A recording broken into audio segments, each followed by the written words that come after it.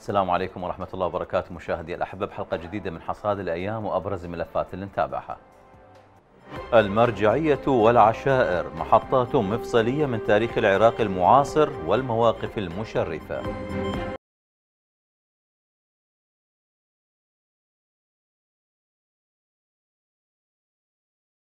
ساحة الاحتفالات مظاهر الانحلال والإخلال بالقيم. ومطالبات بمحاسبة الجهات المقصرة.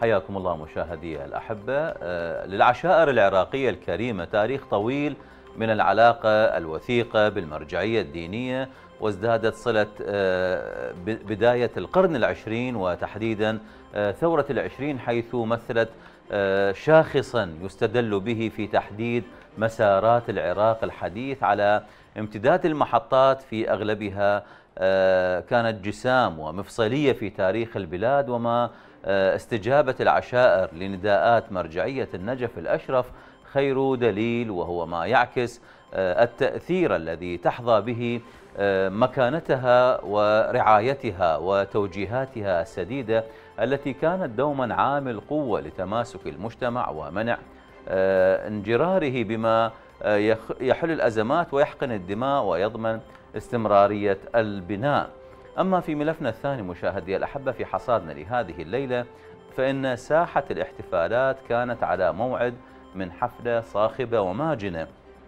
ففي العيد الوطني يساء للعراق صاحب التاريخ الضارب في القدم من جماعات آه، نسبت نفسها زوارا وروادا للفن والإعلام وأرادت إرسال رسائل مغايرة عن حقيقة شعب العراق وهذا ما يبرهنه تأكيد السفيرة الأمريكية في بغداد والذي يمكن تحليله طبقا للمشاهد المخزية والأجساد العارية أنه استهداف للهوية العراقية أولا ولحكومة الإطار التنسيقي ثانيا التي حاول البعض آه، إعصاب التهمة كاملة لها بحضور وزير العمل آه، أحمد الأسدي الذي انسحب مباشرة بعد هذه المشاهد الخادشة.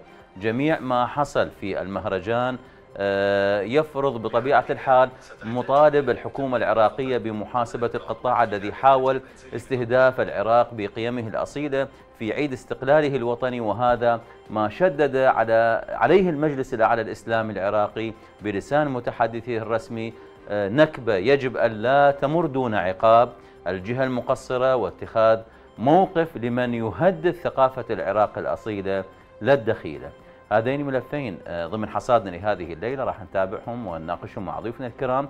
تفضل البقاء ويانا ومتابعتنا.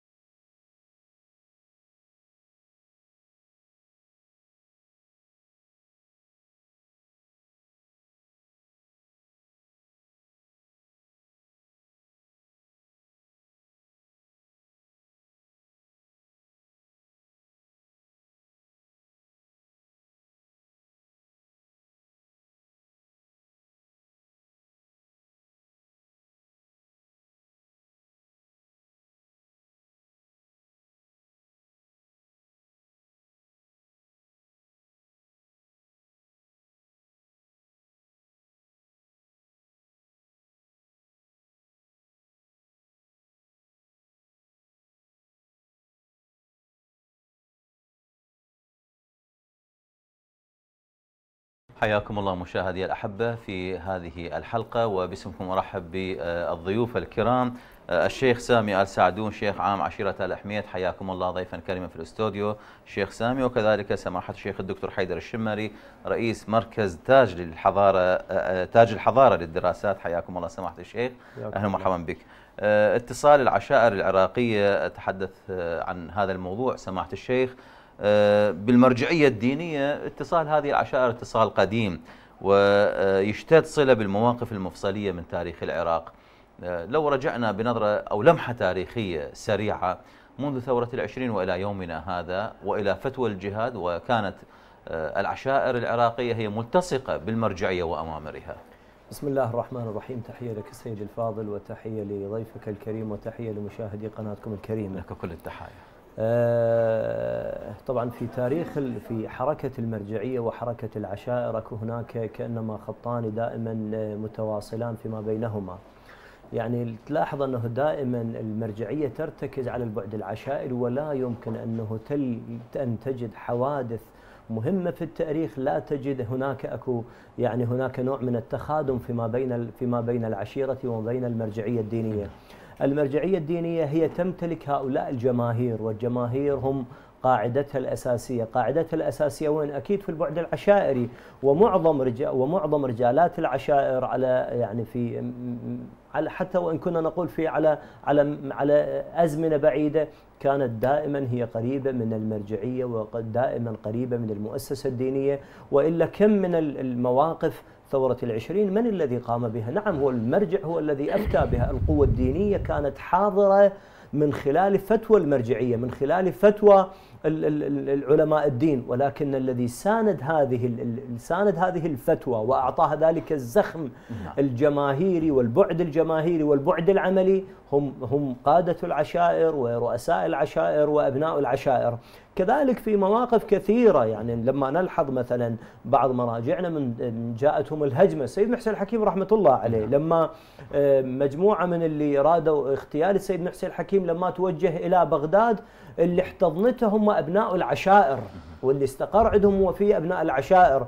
بعض رجالاتنا اليوم من نجي نسمع مثلا من اللي لما تعرضوا مثلا إلى البطش السلطة الظالمة أيام صدام وغيرها اللي احتضنهم هم هم رجال العشائر وشيوخ العشائر وهؤلاء الوجهاء العشائر. فبالنتيجة هناك أكو عملية يعني آه، لا يمكن أن نفصل ما بين حركة المرجعية الدينية والمؤسسة الدينية ومن من زاوية ومن زاوية أخرى بين المؤسسة الاجتماعية اللي يسميها سميها القبائل سميها العشائر سميها رجال العشائر شيوخ العشائر نعم. وهكذا طيب أرحب مجددا بضيف الكريم الشيخ سامي آل سعدون شيخنا هل تجسد هذه العلاقة التكاملية اللي تحدث عنها آه، الشيخ الشمري تكاملية الأدوار بين المرجعية آه، من حيث النصح والإرشاد وعشائر أصيلة آه، تطبق هذه التوجيهات. تحياتي لحضرتك ولكل كادر قناة الأيام وضيفك الكريم. حقيقة العراق هو آه، متكون من عدة آه، أمور أو عدة ركائز يرتكز عليها العراق. أول ركيزة هي المرجعية الرشيدة. الركيزة الثانية هي العشائر العراقية الأصيلة. وحقيقة آه، هاتين الركيزتين. نهضت بالعراق آه، منذ نشأة العراق وبدايته وهم آه، متلازمين في كل الأحداث. العشائر هي مساندة لكل القرارات اللي آه، تصدر من من المرجعيات الرشيدة نعم. منذ الاحتلال العثماني والاحتلال البريطاني ونضال العشائر حقيقة كان الدور الأول لإخراج المحتل وتثبيت آه، استقلالية آه، العراق هم العشائر بعد أن تم إطاعة الفتاوي التي تصدر من المراجع فهم هم الأسس في بناء الدولة العراقية. آه، أول يعني الحقيقة هذان الركيزتان آه، لا يمكن أن يفترقان أبدا. فالعشائر العراقية دائما هي المساندة للمرجعية وللوطن واستقلال الوطن. آه، شيخ سامي نتحدث عن الإشكال اللي حدث بين العشيرتين قبيلة الرميض وقبيلة آل عمر الموقرة في نعم. منطقة الإصلاح في محافظة نعم. ذي قار آه، رغم شدة الخلاف ولكن كانت هنالك استجابة آه، آه، لبيان مكتب المرجع الأعلى آية الله العظمى الإمام السيستاني بالتالي هذه الخلافات العشائرية لما تذوب بتوجيه المرجعية هذا في أي خانة نضعه؟ في, في عرف العشائر والسناين. بالنسبة للعشائر حقيقة تطيع المرجعية إطاعة كاملة في كل الأمور.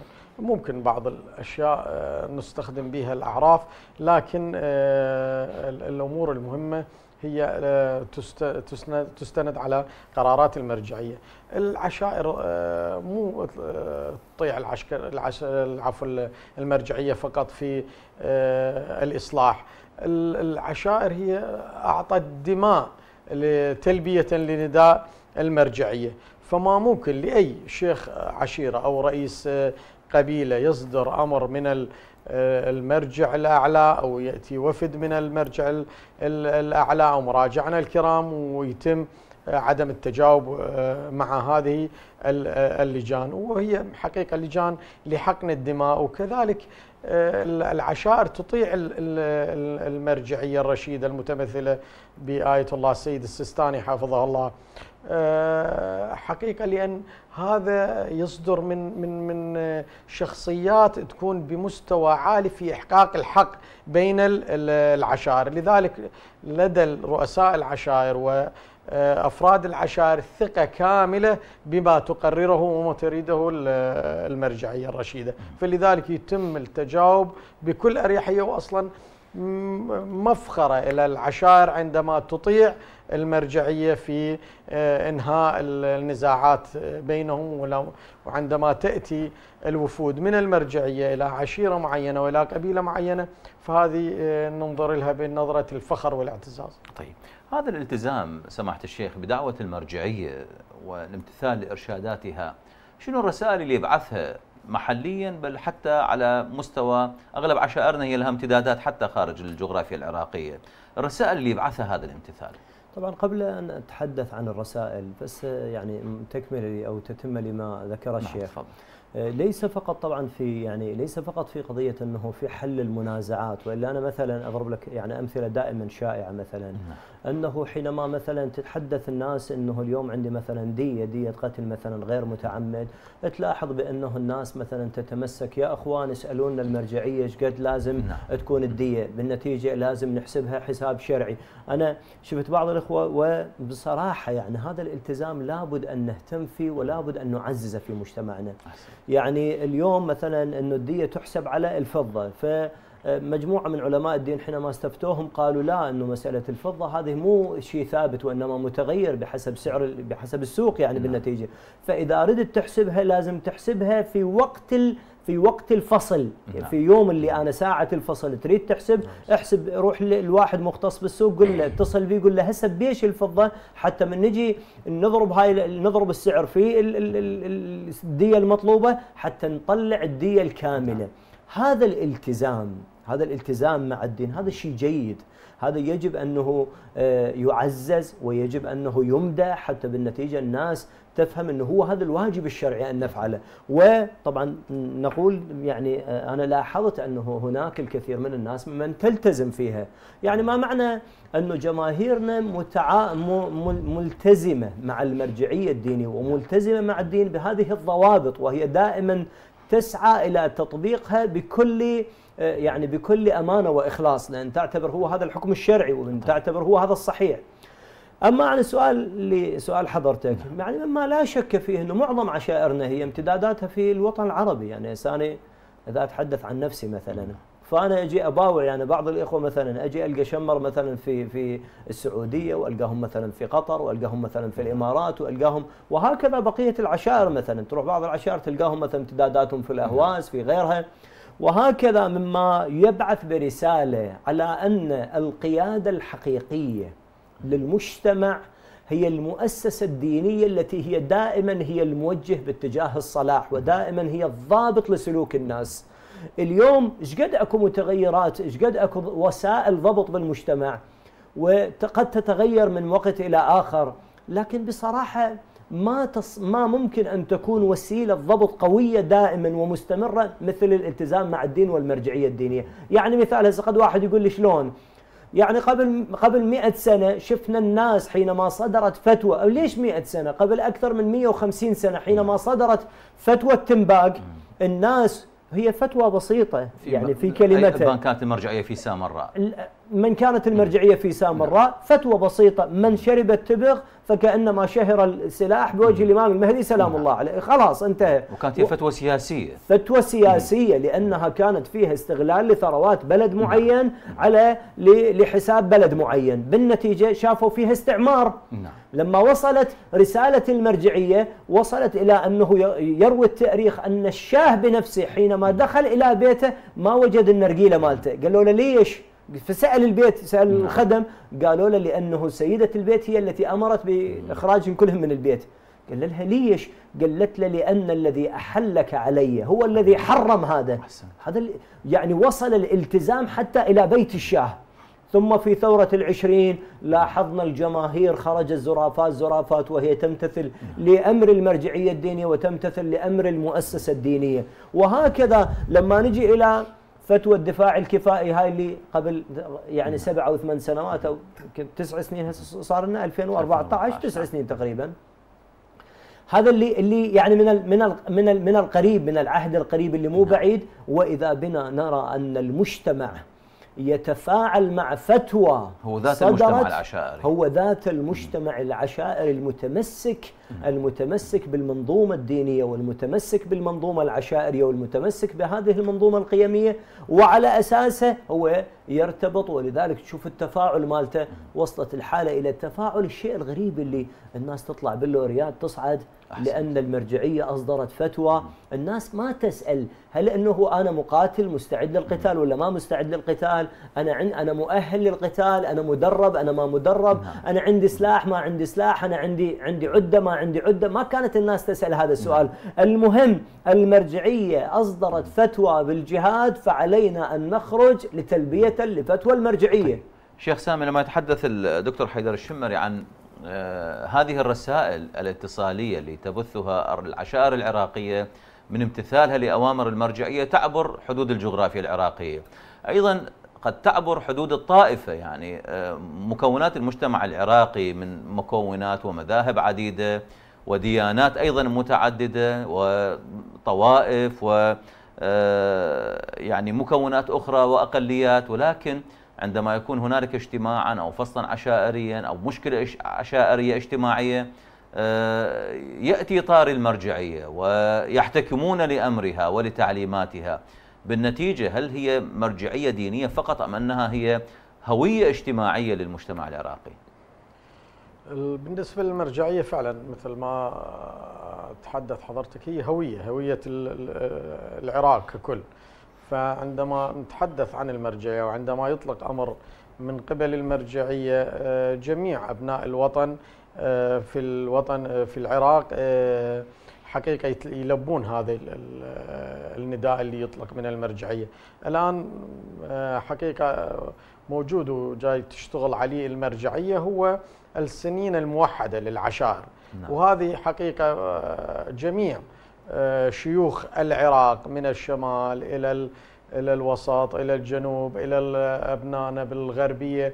كلهم موافقين حقيقة ووقعوا على أن تكون ثانية موحدة لكل العشائر وهذه الثانية الموحدة هي اللي آه، وضعتها المرجعية الرشيدة. فالمرجعية هي هي هوية وطن مثل ما آه، تفضل حضرتك. ويعني أبسط الأمور إحنا هاي الزيارة الأربعينية كيف اجتمع كل أبناء الوطن بها بمختلف الديانات ومختلف المذاهب مختلف القوميات. بنفس الحالة اجتمعت جميع القوميات والطوائف والمذاهب والتفت حول مرجعية السيد علي السيستاني أدام الله ظله الوارف حقيقة ولما أعطى النداء الكل انطلق للجهاد ضد الاعتداءات اللي أحدثتها الغربان الشر من من داعش الحقيقة اليزيدي قاتل المسيحي قاتل نعم. الباقي المذاهب قاتلة القوميات قاتلة كلها تلبية إلى هذا النداء وإحنا نلاحظ بحشدنا المقدس حاليا إذا تريد تروح تلقى به الحشد العشائري ملبي الفتوى الحشد المسيحي الحشد اليزيدي. فالناس يعني حقيقة ذابت بهذا النداء لأنه نداء يخص جميع أبناء الوطن. طيب سمحت الشيخ لما نتحدث عن مرجعية دينية وعشائر كريمة وهذا هو أيضا المحور نركز عليه أه هنا نتحدث عن ركيزتين أساسيتين في بنية المجتمع العراقي. تلاحم واندماج أه هذا التلاحم والاندماج كيف من الممكن له أن يقوم مجتمع بأكمله؟ على اعتبار أن حتى في الوظيفة العامة حتى في الوظائف الحرة هي أيضا لها ارتباطات عشائرية وبالتالي آه، هنالك التزام أخلاقي ما دام أن العشيرة من جهة هي ماسكة لهذه المقومات والمرجعية والتعليمات آه، الدينية هي ماسكة بالطرف الآخر. من المؤكد أن الإنسان أكو هناك وسائل ضبط في حياة الإنسان في حركة الإنسان بالمجتمع أكو هناك وسائل ضبط تلقاها في بعض الأحيان وسائل ضبط دينية وسائل نعم. ضبط اجتماعية وسائل ضبط قانونية وسائل ضبط الاجتماعية قد تتعدد أعراف وتقاليد ومجتمع وغيره والدين كذلك قد هو الإنسان التزامه قد تكون مؤسسة دينية قد تكون كذا قد تكون آه، ضوابط أخلاقية متصلة بالدين. وهكذا كلما زادت وسائل الضبط للإنسان كلما زاد كلما زاد استقامة الإنسان. اليوم الإنسان آه، ممكن تعرض عليه آه، مسألة معينة ولكنه ممكن الدين هو اللي يجره باتجاه باتجاه المسار الصح. يعني يخليه على المسار الصح.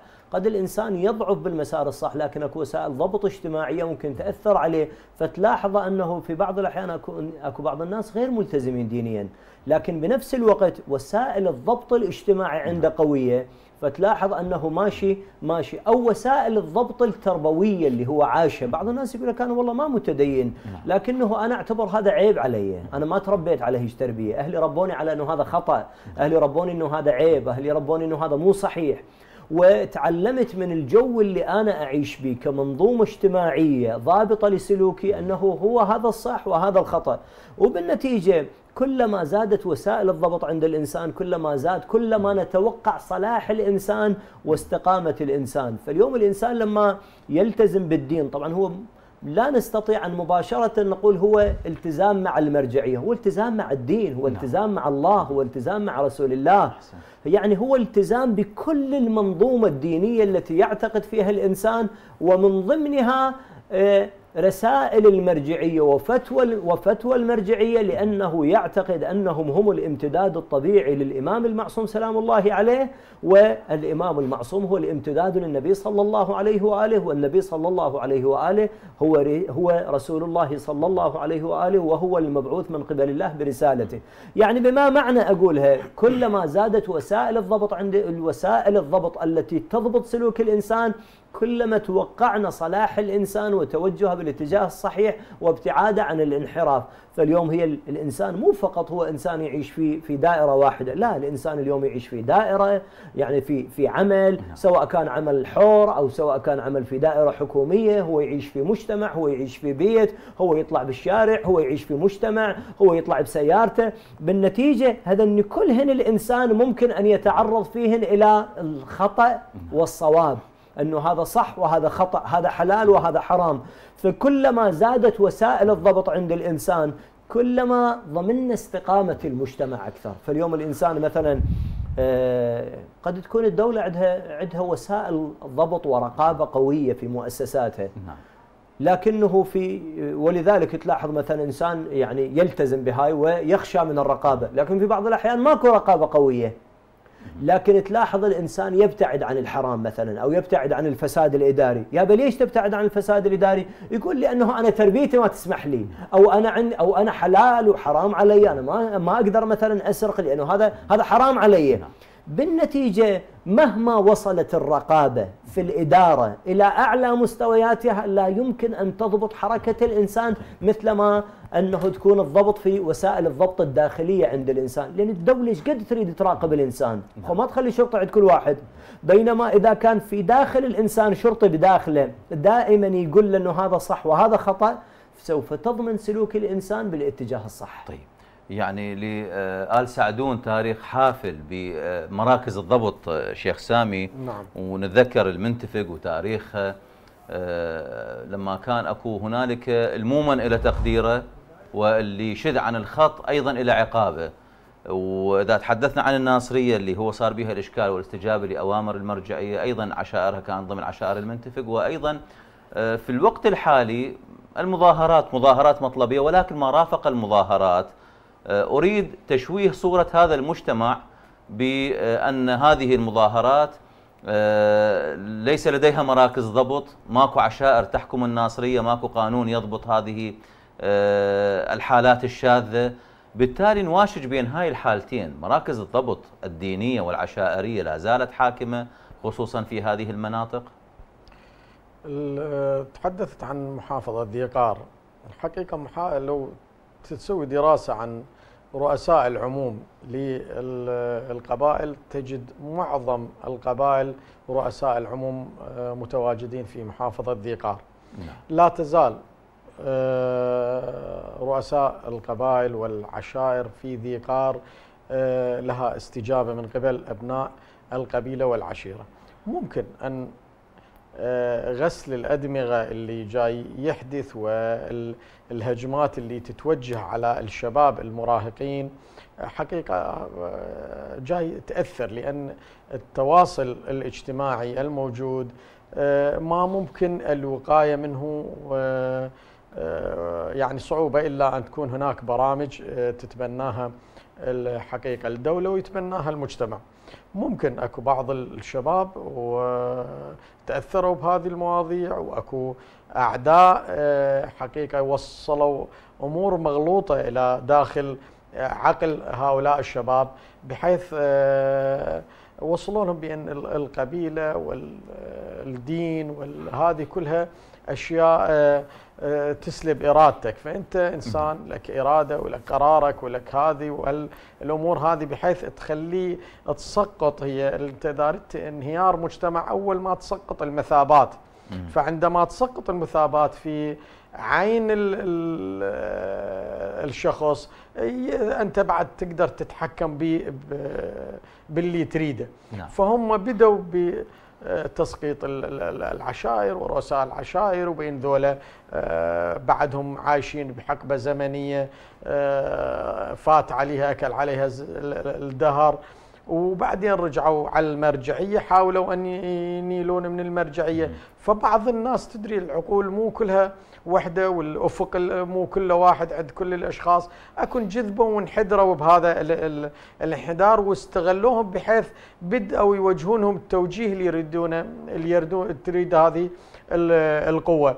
حقيقة العقل الجماعي الشيخ وأنت حضرتك تعرف أكو مرات هذه من صارت المظاهرات المظاهرات تقوم تقودها العقل الجمعي. هذا العقل الجمعي شنو؟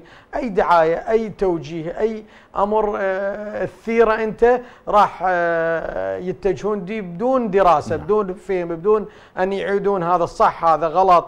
لذلك استخدمت. أما بالنسبة للعشائر بالناصرية عشائر أصيلة عشائر لا تزال تلتزم بمقررات المرجعية وتلتزم بأعرافها وتلتزم آه، برؤسائها نعم. والتوضيح يعني أنا سامي السعدون مو سعدون المنتفج آه. أنا سامي السعدون أخو الشيخ صغير سعدون رئيس قبيلة ال حميد. والنعم من اصلك ولكن الناس أخواننا وأهلنا وإحنا بالناصرية مركزنا في قضاء الرفاعي ومنتشرين على والنعم من اصلك إيه. أشكرك. شكرا جزيلا شيخ سامي السعدون شيخ عام عشيرة ال حميد. ضيفا كريما في الاستوديو. وتفضل البقاء معي يا شيخ الدكتور حيدر الشمري كي نتابع بعد الفاصل مشاهدي الأحبة.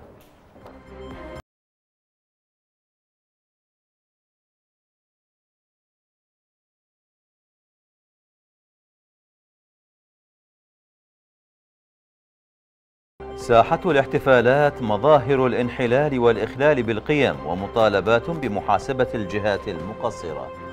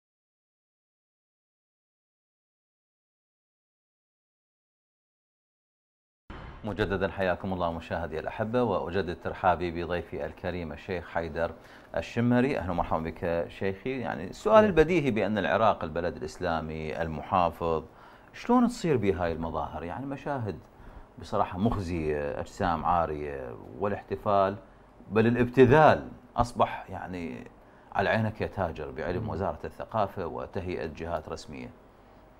يعني واحدة من الأمور اللي استفزت الشارع العراقي واستفزت آه، منظومة القيم العراقية ومنظومة يعني طبعا بمختلف مستوياتها المنظومة العشائرية نعم. الدينية الأخلاقية.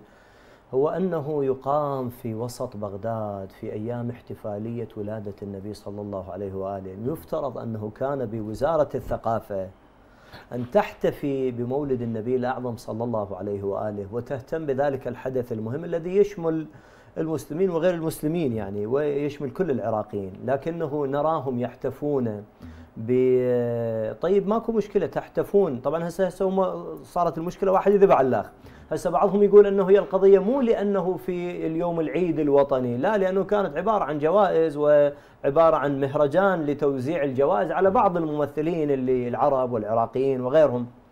وبعضهم يقول لا هو كان احتفال بالعيد الوطني لليوم لاستقلال العراق أقول هل يحتفى بالعيد الوطني بالعاهرات؟ هل العاهرات هل العاهرات تمثل الشعب العراقي؟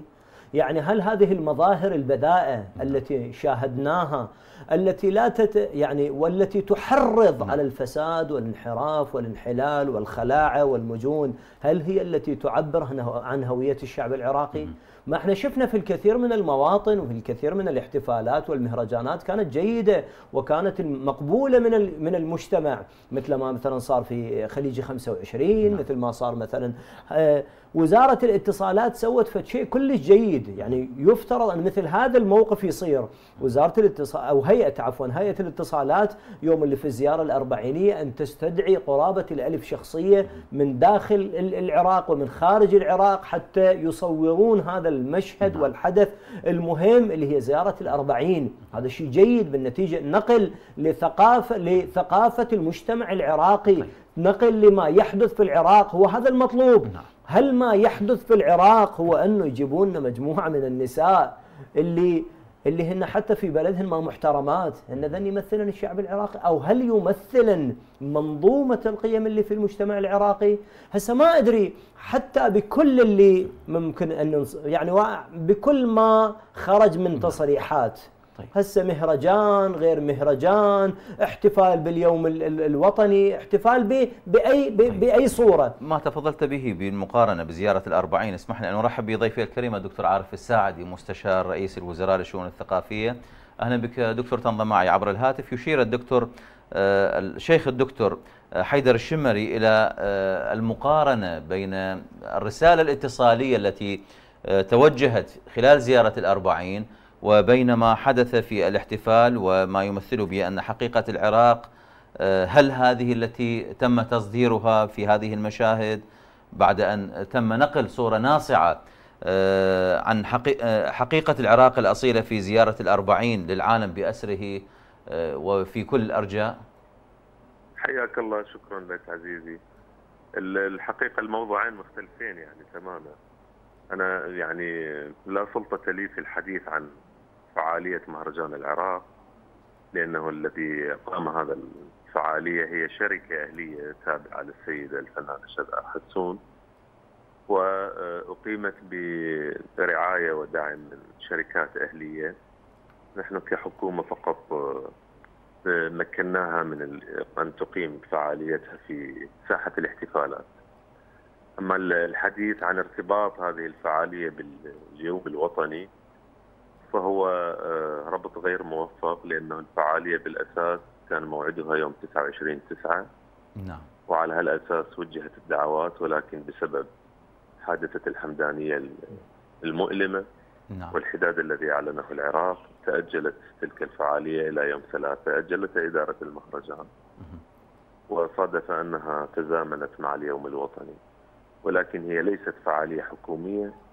ولم تشرف عليها أو تقيمها الحكومة بمناسبة اليوم الوطني. لكنها تساوقت مع آه، ذكرى تأسيس الدولة العراقية وتساوقت مع احتفالات الشعب العراقي بالمولد النبوي الشريف وكانت هذه المشاهد اللي انتشرت على مواقع التواصل دكتور.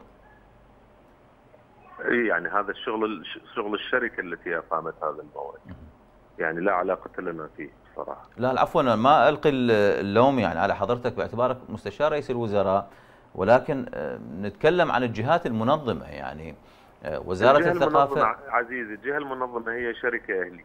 آه، وبصراحة يعني رغم كل المشاكل التي دارت في المهرجان نعم. والصور التي ظهرت ولكن حضر مجموعة كبيرة من الفنانين يحضرون لأول مرة. فنانين يعني عليهم القيمة مثل ما يقولون. يعني كرم في هذا في هذه الفعالية مثلا. آه، فنانون عراقيون كبار مثل جواد الشكرتي وآسيا كمال وعواطف نعيمي وآلاء حسين وعلي فاضل وأياد راضي وكرم فنانون آه، عرب أيضا كبار مثل وليد توفيق وصفية العمري وجمال سليمان وهذا صدقي ودكتور حبيب غلوم آه، كاتب طيب. وممثل إماراتي مهم. يعني في أسماء مهمة طيب هل من المنصف أن نأتي بالبلوجرز يعني مع هكذا قامات فنية ورواد بالفن العربي؟ نعم. هل من المنصف أن نأتي بهذه الشخصيات غير المعروفة والمغمورة بل هي أبطال في ال social media ونعرضهم على أنه لهم قيمة كقيمة الشخصيات التي ذكرتها. شخصيات معروفة يعني مثل صفية العمري هذه لها تاريخ نعم نعم. لما ولكن هذه هذه ال bloggers اللي, اللي وتحدثت عن بغداد. نعم. الشيء جمال سليمان الشيء وليد توفيق. هذه أسماء نحن يهمنا أن تحضر هذه طيب. الأسماء طيب. لبغداد لأن حضورها هو رسالة سلام واطمئنان حقيقي. لا علاقة لنا بالفانشستات والتعر الموجود الذي ظهر نعم. فيما بعد في مواقع التواصل. هذه مظاهر بصراحة غير مقبولة على الإطلاق ولكن لا سلطة لنا نحن لسنا هيئة أمر بالمعروف ونحن منكر لكي نمنع ونفحص اللابسات ماذا يلبسن. هذا عملية أخرى لا علاقة لنا بها ومو دورنا بالأساس يعني هذا. نعم. أشكرك شكرا جزيلا الدكتور عارف الساعدي متحدثا عبر الهاتف. شكرا جزيلا لهذه الإيضاحات. سمحت الشيخ نتحدث عن السفيرة الأمريكية اللي كان لها إذا تسمح لي عقد تفضل. أخوي العزيز دكتور عارف الساعدي آه، دكتور يعني دكتور عارف ويعرف جيدا وهو المتابع والشخصية اللي هو أستاذ جامعي وعايش في الوسط يعني في وسط الاعلام في الوسط الإعلامي وفي الوسط, الوسط الثقافي وتبوء مناصب. بالنتيجة هو يعني أمام الوضع كله بأكمله ولا يخفى عليه الأحداث. يعني أقول بأنه هل من ال يعني كل واحد يريد يسوي مهرجان اليوم أنت تفتح له المجال وتقول له والله أنا ما لي علاقة. يعني نفترض هؤلاء مثلا آه، وزعوا مخدرات مثلا نفترض. هم نعم. هم تطلع الحكومة تقول والله أنا ما لي علاقة بهم والله لأنه أنا مو منظمة لهذا العمل مثلا. طيب. هل إذا مثلا سووا لنفترض سووا بعض الأعمال مثلا رفعوا أعلام المثلية مثلا تجي هم تقول والله الدولة أنا ما لي علاقة بهم لأن هم اللي سووا هذا الأمر. أخو ماكو شيء. يعني بالنتيجة يجب أن تكون هناك دائرة أو مؤسسة من مؤسسات الدولة هي التي تعنى بمراقبة هؤلاء. هسه ما أقول لك أنت هيئة أمر بالمعروف والنهي عن المنكر لا لكن هناك أكو روابط شلون سلم لهم أنت يعني انطيتهم ساحة الاحتفالات المنطقة الخضراء. في, في قلب بغداد هي تابعة لوزارة الثقافة. يعني أنا وهب الأمير ما لا يملك لمن لا أنت بالنتيجة أنطيتهم موافقات رسمية. هذه الموافقات الرسمية. وإنت مو دكتور عارف حتى لا لا لا, لا, لا عفوا لا دكتور الجهات المختصة. دكتور عارف أخونا يعني نعم. بالعكس إحنا ما نوجه اللوم له لكن أقول المؤسسة التي أعطت الموافقة.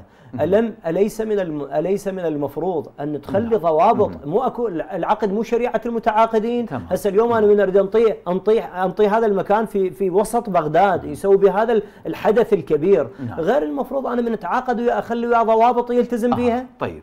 هنا خلينا ارحب بضيفي الكريم السيد رسلان حداد الإعلامي آه، المعروف يحدثنا عبر الهاتف. آه، أستاذ رسلان لما حفل يقام في مكان تابع لوزارة الثقافة في ساحة الاحتفالات وسط بغداد بنص المنطقة الخضراء. يعني ما أقيم بالسفارة الأمريكية هنا نقطة.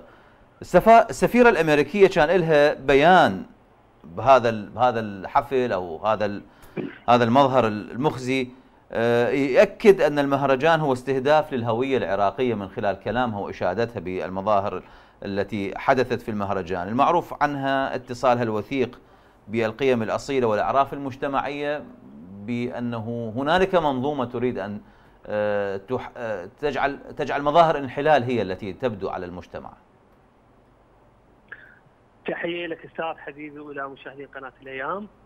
حياك. أه وتحية إلى المستشار لرئيس الوزراء الثقافي الأستاذ عارف الساعدي الشاعر والأديب. وأنا أحبك كشاعر وأديب. وأحبك كمستشار سياسي اللي ندعم الفنانين وكل الطبقات. تعقيبا على كلام أستاذ عارف أه أستاذ عارف سمعت أه كلامه. هو بي بي هواي حقيقة شلون؟ اولا سيدي السوداني يقول لك أنا هسه امنحيك موضوع قلت لا مو إطاري. مو؟ موضوع نعم. وافقت ابتليت مثلا السيد السوداني رئيس وزراء كان مو دفاعا عن السيد السوداني. ها؟ مثلا رئيس وزراء يتصل السنة الثالثه يقول لي الدستور مو؟ هاي وحدة. اثنين السفيره الامريكيه هذا الموضوع شذا حسون هي اللي قامت به. هي تواصلت في السفيره الامريكيه وهي اللي جابت هذول الضيوف وهي اللي جاملت وهي اللي بمكان مقدس آه، الجيش العراقي هو اللي استعرض به. تجي شذا حسون تقيم مهرجان به. الحشد ما خلوه. بزمن حكومة الكاظمي. الحشد الشعبي المقدس اللي قدم ما قدم من أجل الوطن ما خلوه يستعرض بساعه الاحتفالات. إحنا ما ننكر إنه هاي مهزله البارحة اللي صارت. وحتى اللي اللي جايبيهم ومستضيفيهم آه، كلهم طافين. يعني صفية العمري آخر عمل لها بال 98 بليالي الحلمية. وليد توفيق أطق أغنية لها بال 98 ها؟ شذا حسون أصلا مو عراقية مغربية البنيه وحتى من تحكي تبي للمغرب أنا قاعد وياها وحاكي وياها واذا تريد ادز لك الصور الدلائل. البنية يعني حتى ما ما تبتم العراق. تجي تلم فلوس براس العراق وتروح. براس الزواج. طيب. رعاية السفيرة الأمريكية كانت واضحة وإقامة آه، مثل هكذا المهرجان آه، دكتور آه، بالنص المنطقة الخضراء. السفيرة الأمريكية في بغداد. السفيرة الأمريكية نعم في بغداد. سيد رسام. يعني وجهت رسالة. جزء الموضوع مدروس أو ما مدروس ما نعرف. يعني هو مهرجان بمكان مقدس مثل ما قلت لك وجنود ووضعية وأشياء لكن الموضوع المعيب هو يعني ما أعرف ما أعرف نفسهم هم يجيبون هنا نفس زين ليش ما دعوا بهجه الجمهوري؟ مو قالت ماجد المهندس راح يجي، مو قالت فلان راح يجي، مو قالت فلان بس اخذت اخذت أخذت مليونين دولار مثل 4 مليونين دولار ها؟ وياهل يجي إلى فلوس براس العراق. أشكرك شكرا جزيلا أستاذ رسلان حداد الإعلامي حدثنا عبر الهاتف.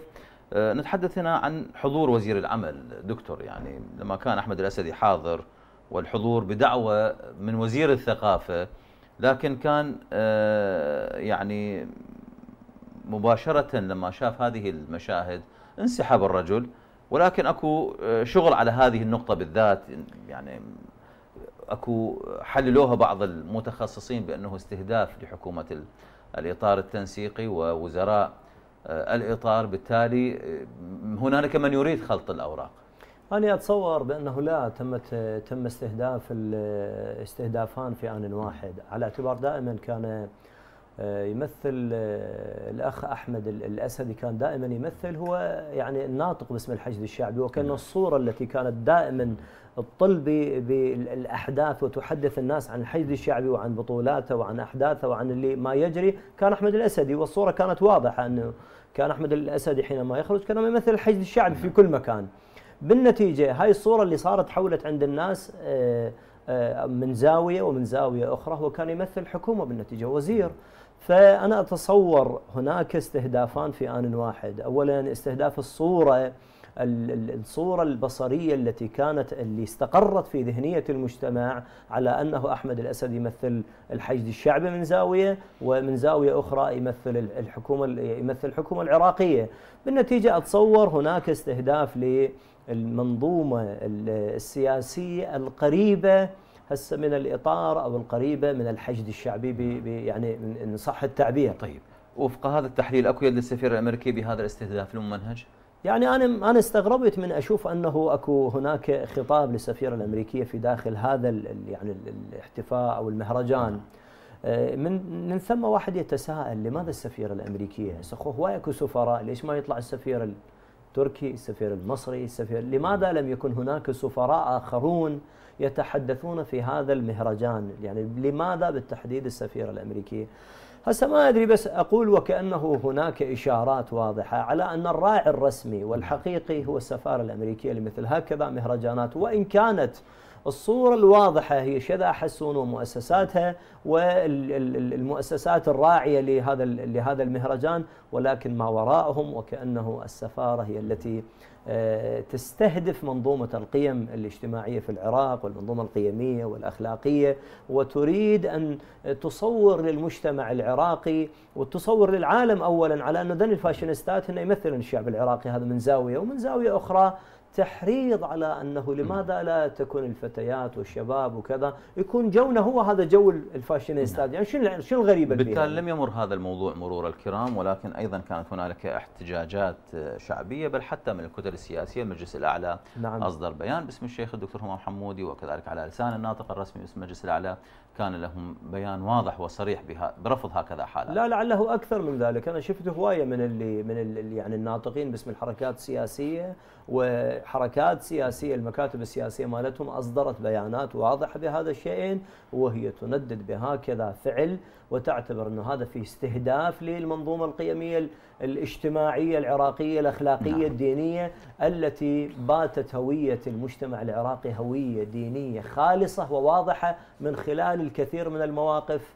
آخرها زيارة الأربعين التي أثبتت أن هوية الشعب العراقي هي الهوية الدينية الراسخة في هذا المجتمع. وهذا ما نربطه بالملف الأول. أشكرك شكرا جزيلا دكتور الشيخ الدكتور حيدر الشمر رئيس مركز تاج الحضارة الدراسات.